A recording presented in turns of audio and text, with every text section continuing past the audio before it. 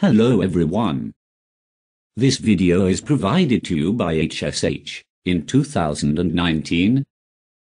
To change the design of the document or to create the table of contents or other purposes.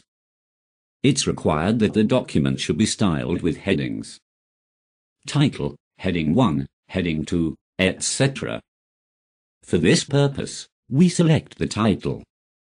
Then under Style Group, we choose Title Style. Then for each heading, we can click on the line of the sentence if it's only one line.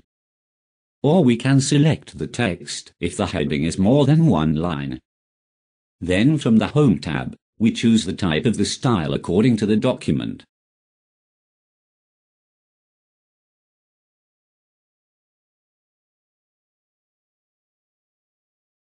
This process will be continued for the whole document.